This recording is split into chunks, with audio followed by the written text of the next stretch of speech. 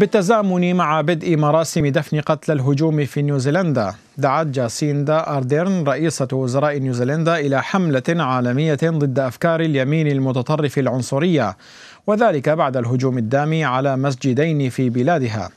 في هذا الإطار قالت رئيسة الوزراء إنها ترفض فكرة ارتفاع أن ارتفاع عدد المهاجرين يتسبب في زيادة العنصرية. مؤكدة أنها تعمل منذ اللحظة الأولى للهجوم على توفير الأمن والأمان للمسلمين في مساجد البلاد.